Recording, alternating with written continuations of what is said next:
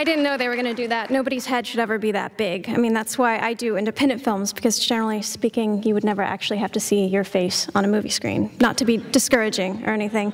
Um, but uh, so, it is my great pleasure to present the Golden Tripod Award for Best Performance by an Actor. And let's take a look at the nominees. And the Golden Tripod Award for Best Actor is Vishal Patel and Committed from Emory University. Congratulations.